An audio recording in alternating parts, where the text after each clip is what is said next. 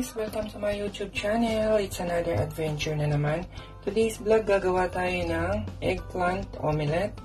Ayan. So, bago tayo mag-start, kung bago ka sa aking channel, don't forget to like and subscribe and click the notification bell para updated ka sa mga vlogs ko. Tara, umpisahan na natin. So, ayan, marami tayong talong.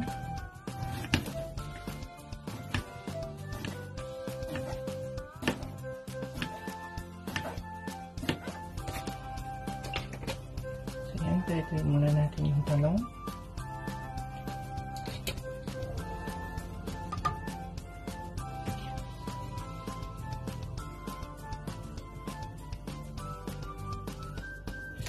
Then add some chili powder.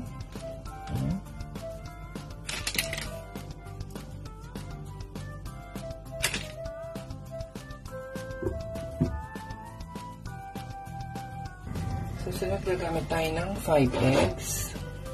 Ayan.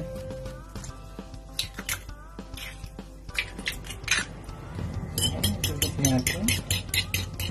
Add small amount of salt and pepper.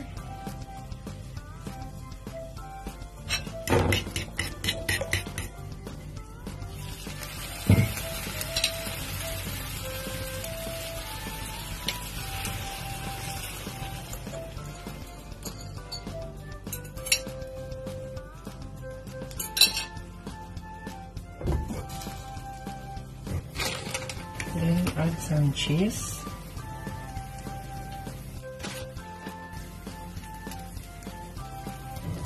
And spring onions.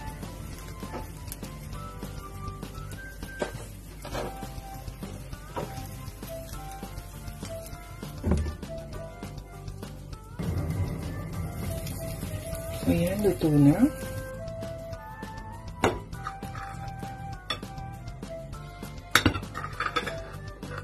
So, yan guys. Luto na yung eggplant omelette natin. So, yan. Sana guys nag-enjoy kayo. Thank you for watching. Bye-bye!